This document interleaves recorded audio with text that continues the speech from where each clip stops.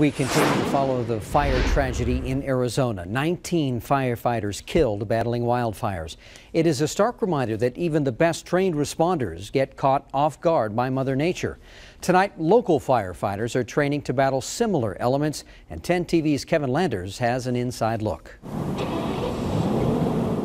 Wildland firefighters admit they live in an unpredictable world where wind-whipped flames can engulf them without warning. Okay, this is the fire shelter that we that we use on wildfire assignments. Aaron Kloss makes a living fighting wildfires. I think a lot of times, um, you know, unpredictable weather um, causes a lot of problematic fire behavior that, that firefighters don't don't like dealing with sometimes.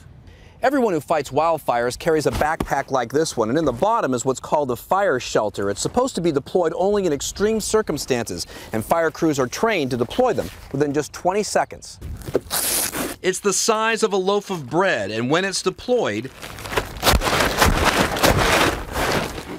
it can mean the difference between life and death for a wildland firefighter.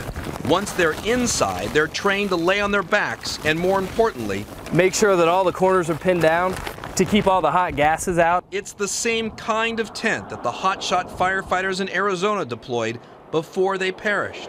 It'd be a heck of a lot different trying to deploy one of these in a wildfire because the wind's going to be howling.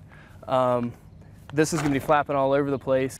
Kloss admits he's never used a fire shelter during his career, but says he trains yearly on how to use them it's a critical piece of, of our protective equipment.